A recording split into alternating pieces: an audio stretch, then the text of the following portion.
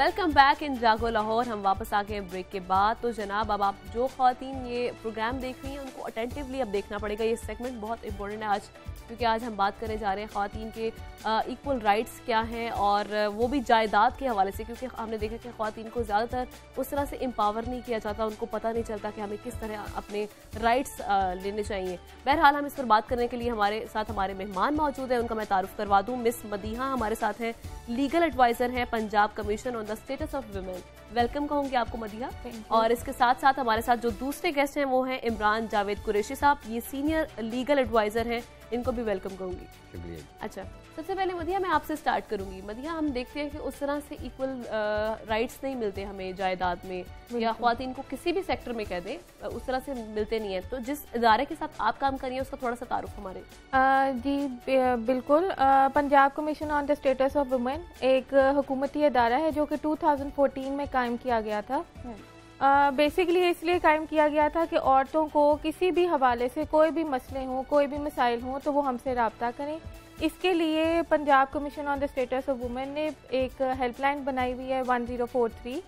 औरतें जो है हमें जो जी वन ज़ीरो फोर थ्री। औरतें हमें उस पर कॉल कर कर अपने किसी भी मसले के बारे में रहनुमाई हासिल कर सकती हैं। ख्वा वो फिर हरासमेंट से रिलेटेड हो। जैसे कि साइबर हरासमेंट आजकल जो है बहुत पीक पर है। उसके अलावा अगर बेसिक वो प्रॉपर्टी से मैटर रिलेटेड हो इनहेरिटेंस से रिलेटेड हो यानी ओवरऑल राइट्स के बिल्कुल क्रिमिनल ऑफेंसेस से रिलेटेड हो किसी भी हवाले से अगर कोई भी शिकायत कोई भी मसला है तो औरतें जो हैं वो वन ज़ीरो फोर थ्री पे कॉल कर सकती हैं। और उसके बारे में रहनुमाई हासिल कर सकते अच्छा ये किस तरह से डील करता है ये कमीशन जो आपने वन ज़ीरो बेसिकली जो हमारी हेल्पलाइन है वन ज़ीरो फोर थ्री वहाँ पे सी एस आर हमारी चौबीस घंटे जो हैं वो मौजूद होती हैं। और इसके अलावा हमारे लॉयर्स भी वहाँ पर मौजूद होते हैं।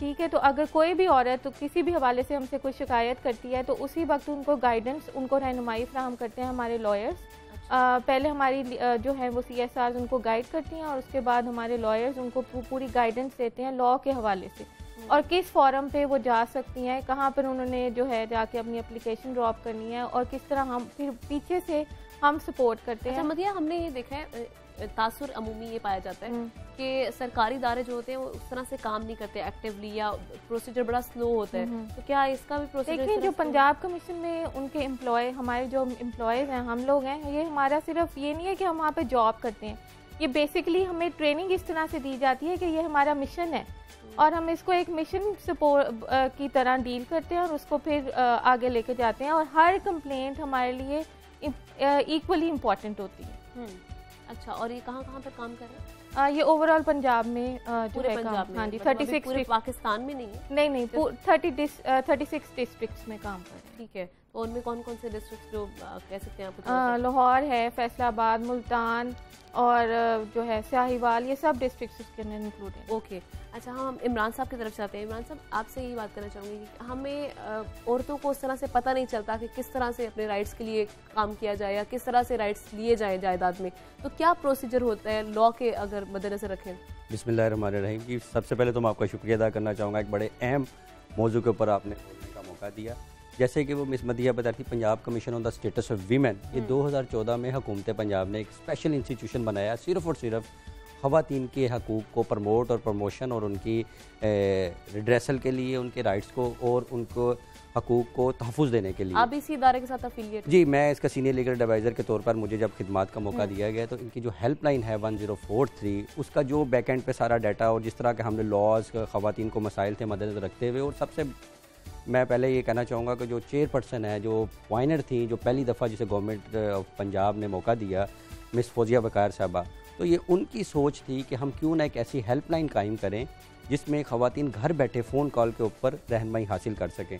तो ये 2014 अगस्त से हेल्पलाइन 1043 काम कर रही है, जहाँ पर सुबह पंजाब की किसी भी ज़िला से, तहसील से यूनियन कौंसिल से ख़ातून फ़ोन कॉल के ऊपर अपने मसाइल से मतलब रहनमई हासिल कर लेती है।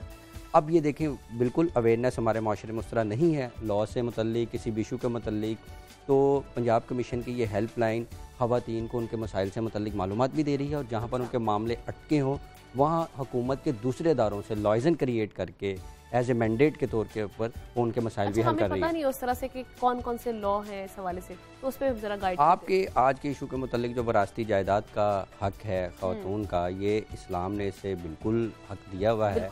और वही जो हमारा कॉन्स्टिट्यूशन ऑफ़ पाकिस्तान 1973 को बना एक इस्लामिक आइन है उसके बीच में बाकायदा लिख दिया गया है कि औरतों को मर्दों को एक बराबरी है क्वालिटी है।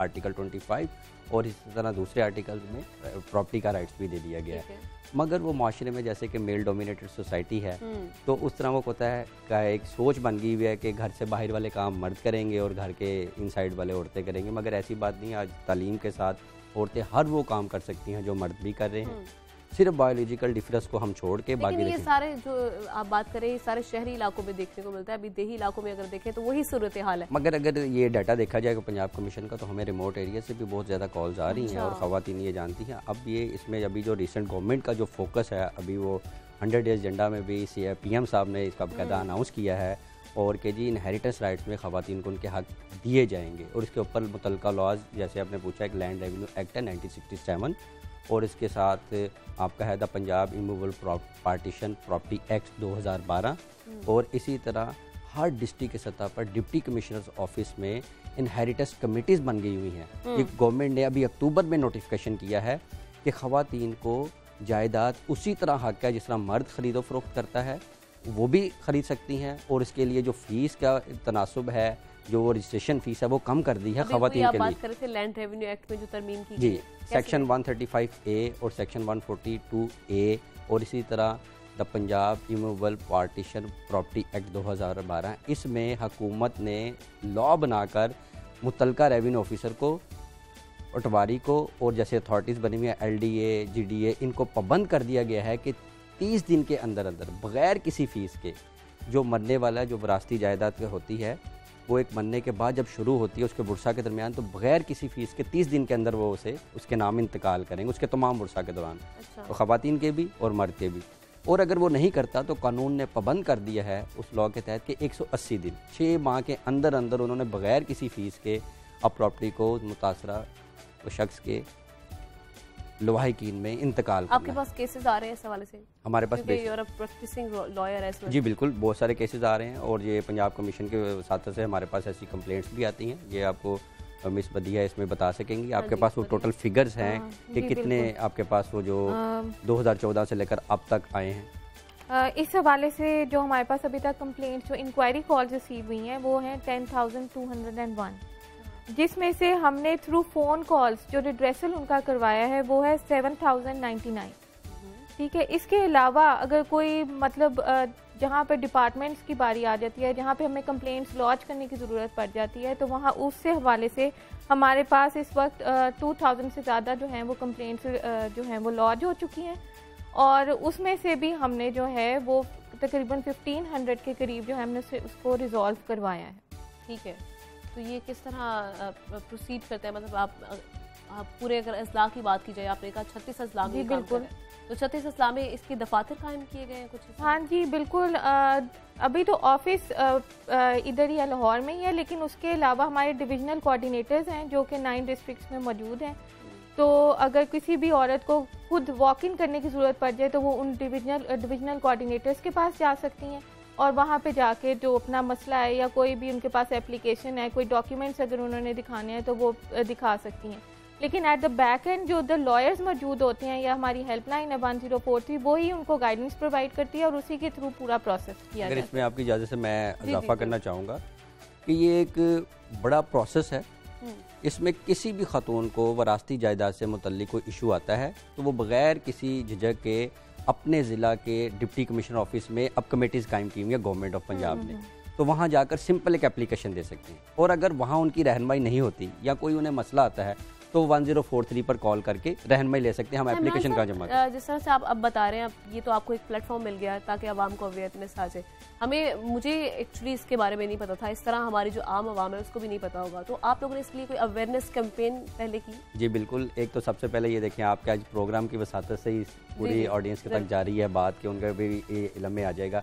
और इसके साथ साथ जो चेयरपर्सन है फौजिया वकार साहबा उनका लॉइजन है दूसरे डिपार्टमेंट के साथ वो दूसरे बोर्ड मेंबर्स में हैं तो इसलिए मीडिया कंपेन्स भी एस एम एस कम्पेन्स के ज़रिए और हम मुख्तलिफ़ फोरम्स में जैसे कॉलेज यूनिवर्सिटी में जाके हम सेशन करवाते हैं एक घंटे का आधे घंटे का अच्छा। हम पूरे छत्तीस अज़ला में लॉइजन में है और जो डिवीज़न कोऑर्डिनेटर्स की इन्होंने बात की है तो वो हर डिवीज़न में कमिश्नर ऑफ़िस ने हम उनके भी शुक्रगुजार हैं एक हमें एक ऑफ़िस दे दिया उन्होंने और हमारे नाइन डिवीज़न सुबह पंजाब में एक डिवीजनल कोऑर्डिनेटर बैठे हुए हैं हम्म। और इसी के साथ साथ और प्रोजेक्ट्स भी हमारे काम कर रहे हैं जिसमें जॉब आसान है और इसके अच्छा। अलावा वीमेन इनकोबेटर्स के हवाले से है ट्रेनिंग ऑफ़ निकार रजिस्ट्रार है और इस तरह मुख्तलिफ़ इशू के ऊपर जो भी खातन से लिंक करते हैं वो हमारी चेयरपर्सन मिस फौजिया बकार की सोच के मुताबिक और दूसरी एक और खुशी की बात है कि जो इस वक्त सेक्टी वीमेन डेवलपमेंट आई हैं इरम बुखारी साहबा उनका भी विजन और सोच इसी तरह है और जब ये कमीशन बना था 2014 में। तो उस वक्त भी वो सेक्रेटरी थी, फिर बाद में ट्रांसफ़र होगी। आज आज कल वो फिर W D D women development department की सेक्रेटरी हैं। और चेयरपर्सन फौजिया वकार साहबा पंजाब कमीशन की हैं।